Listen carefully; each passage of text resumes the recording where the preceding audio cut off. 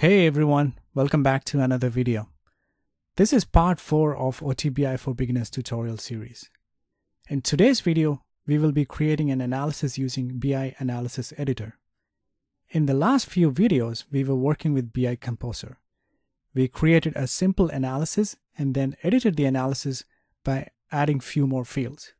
Finally, in the last video, we added a graph and to be more specific, a bar chart to the analysis. We saw a few of the capabilities of BI Composer and how easy it is to create an analysis without writing a single line of code. We saw how to sort, filter, add prompts, highlight a column based on certain conditions, create formula columns, changing the column name, etc. From this video onwards, we will be working on BI Analysis Editor. However, I will highlight the differences between BI Composer and BI Analysis Editor as we make progress. I hope you found the previous videos helpful. This video is longer than usual and I apologize for that. But I felt it made sense to show all these things in one video. Without any delay, let's get started. The first thing I want to show is how to get to the BI server so that you can create an analysis. From Reports and Analytics homepage, click Browse Catalog button. And you should be in the BI server now. Second option is from Reports and Analytics homepage, click Options for any analysis that you have created and select More. And you should be in the BI server now. The third option is take the URL that you have, delete everything after oraclecloud.com, and add forward slash analytics. Click enter, and you should be in the BI server. The fourth option is from Reports and Analytics homepage, click Create button, and then select Report option. In the next window, click Cancel, and then click OK and then click catalog. So you're on the BI server and you should be able to go ahead and create an analysis.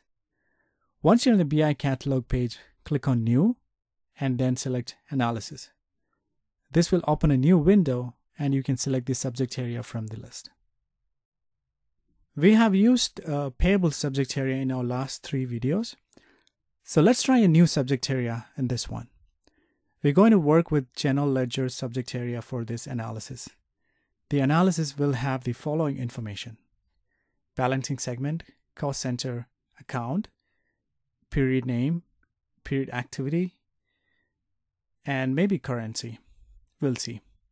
We will be using few filters like ledger, account type, currency, year, etc. All right, so from the BI catalog, click on new and then select analysis. Select the subject area, general ledger, transactions, balances, real time. You may have to scroll down to find this.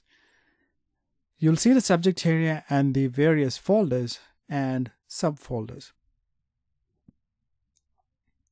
There are four main tabs. Criteria, and this is where you select the columns and set your filters. Results, this is where you preview the results. Prompts, this is where you add report prompts advanced, and this is where you can see the SQL being issued behind the scenes. In the Criteria tab, you will see options to search, sort, add or remove subject area, and refresh. To the right, there are two main sections, selected columns and filters. One advantage of BMBI Analysis Editor is that you can search for the data fields that you want and this was missing in the BI Composer. Let's go ahead and select the data elements we want.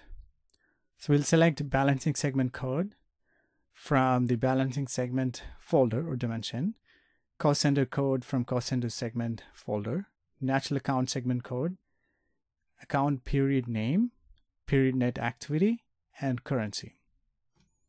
Double clicking on the fields will move these to the selected columns section.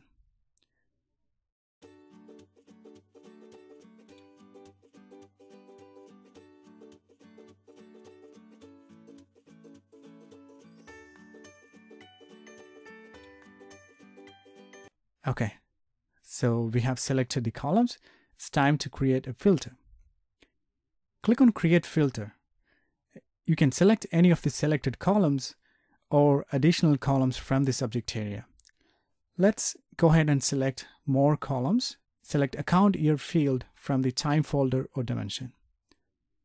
We want to see data for 2019, so scroll down and select 2019 from the list for the Values field. We're going to add one more filter. We will select Ledger Name from the Ledger folder or dimension. Let's use search option to find the US ledger.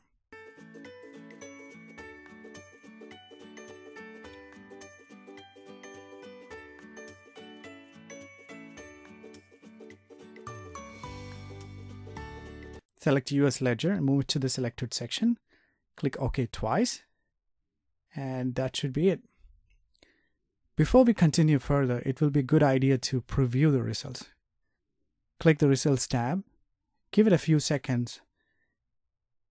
Awesome. We can see the results in tabular format.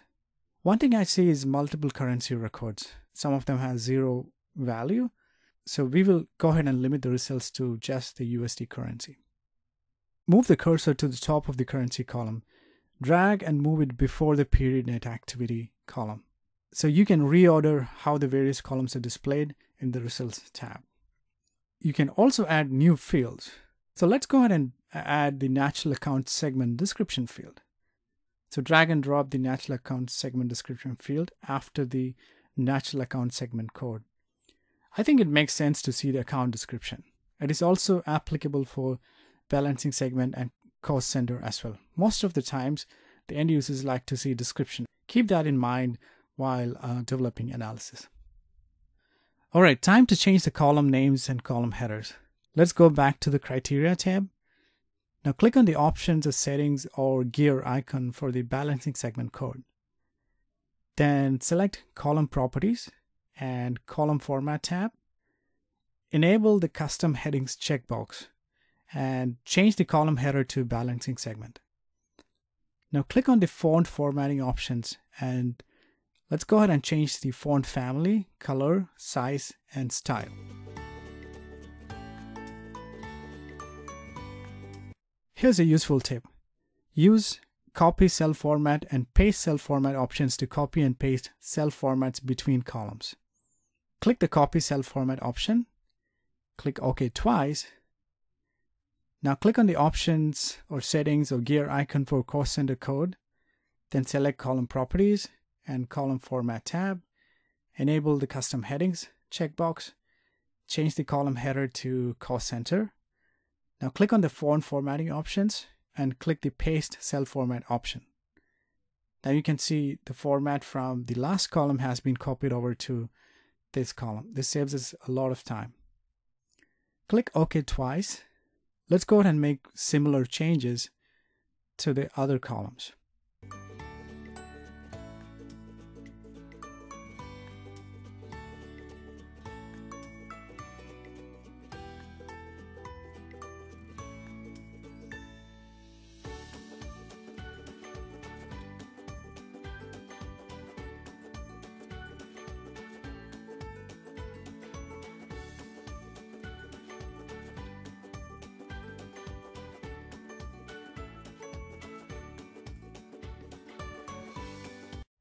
Let's add a filter for the currency field. We want to see USD balance only.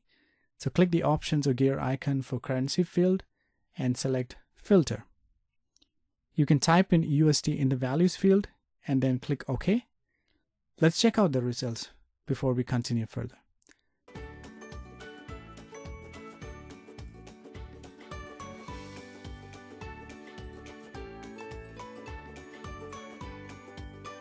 Notice the column header styling is visible and the data is now displayed only for USD currency.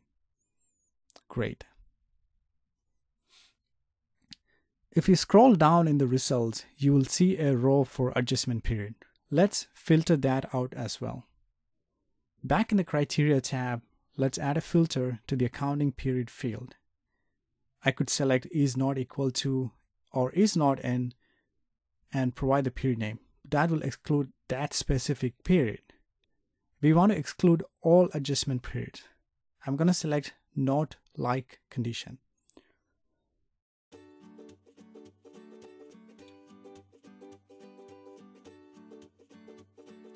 Okay, let's check out the results. Oops. Okay, so it's still there, so I may have done something wrong.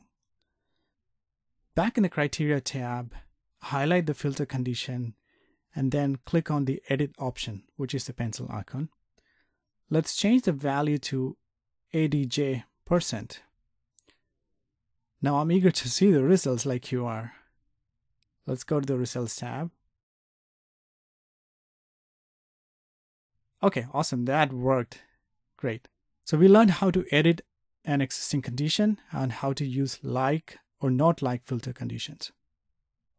I want to make a few more changes here. Let's move the natural account to the table prompt section. That way I can select the account that I'm interested to view. I'll move the account description field to the prompt and not the account code. This is pretty simple to do. Right click on the account description column header, highlight the move column option, and then select to prompts. That moves the account description field to the table prompt section.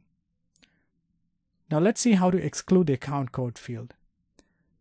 Right-click the column header and then select Exclude Column. This will exclude the column from the view. Remember, the column is still in the Selected Columns section, but it is just excluded from this view. Give it a few moments uh, to refresh the view. And yep, this looks good. In the filter condition, we have specified currency is USD. So maybe we can exclude the currency column as well. So let's edit the view and I'll show you how to do that. Notice the layout area and you will see various sections like table prompt, sections, table, excluded, etc. The account code is in the excluded section. Now let's move the currency to the excluded section as well. Drag and drop the currency field from the table section to the excluded section. Give it a few seconds to refresh the data. And voila, the currency field has been excluded from the view. Now this is how you can exclude fields from the view. Click on done and we're good. I'm going to change the column style for net activity as well. You can follow along if you want to.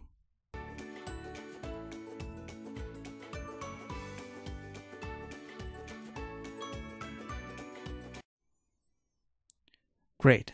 The column headers have a consistent styling now. Now onto a few other styling options. Let's format the container and change the background color of the cells. You have options to set the border styling, height, width, and padding options. What we are interested in is the background color of the table. Click the drop down arrow next to background color and choose a color. Click OK when you're done and you will see that the color has changed. Next, we will enable alternate row styling. Click on table properties, check enable alternate styling, and then let's go ahead and select a background color. Click OK twice. You also have options to select how to display the column header. One option is folder dot column this will show the folder and field in the column header. So during the design phase, it will be easy for you to identify which field is from which folder. Click OK. You'll notice that the alternate rows have different colors, and the column header shows the folder details as well. Great. One change I would like to do is to repeat the values of balancing segment and cost center columns. By default, it is not repeated. Since the values are the same for the given account and accounting period, this is another easy fix. Let's go back to the table properties and enable repeat cell values. I'm going to change the column header display option to only column headings. Click OK. Great, you can see that the table design looks much better now. Okay, I see it's kind of hard to see the font because of the dark gray color. I'm going to change it to a lighter color. You can follow along.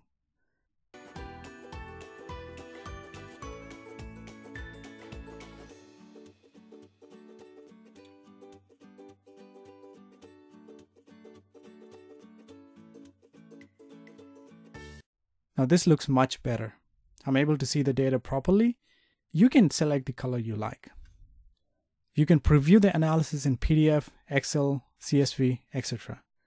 Select PDF from the drop-down and follow the prompts to download and open the PDF file. This is how it's going to look like if the analysis is exported to a PDF. Aha! I see rows with zero net activity dollars. We will have to exclude these rows too. Let's do that next. In the Criteria tab, add a filter for period net activity column. Set operation as is not equal to or is not in and value as 0. Click OK and check out the results.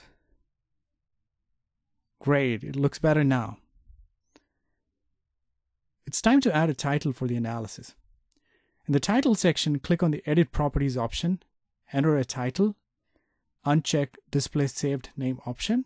You have the option to upload a logo.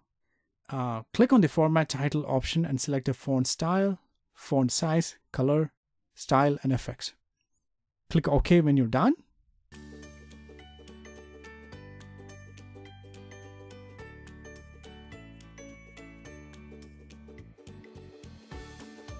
And you should see the title now. Let's check out the Advanced tab. Here you can see the SQL being issued for the analysis. Notice the select clause, from clause, the where clause, and the order by clause. Let's go ahead and save the analysis. Click on Save or Save As options, select a folder, and give the analysis a name and description. Click OK to save the analysis. Make sure you save the analysis and keep saving it in between when you're making changes. Great, it is time to run the analysis. Now click on Catalog. You'll see the analysis we created. If you don't, then navigate to the folder where you save the analysis. Click Open to run the analysis. Now go ahead and select a account.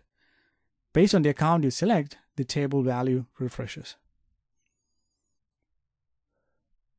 Click on Catalog and select the analysis. Click on More. You'll see options to delete, copy, rename, add to favorites, print, export, schedule, etc. We will look at these options in a later video. Great. I think that is it for this video. So in this video, we learned how to create a simple analysis, saw the styling options for table, column header, title. We briefly saw the advanced tab, how to export the analysis in PDF, etc. In the next video, we will talk about dimensions, facts, attributes, and measures. It is important to understand those concepts and we will work on another simple analysis. This was a longer video, but it made sense to show all this together.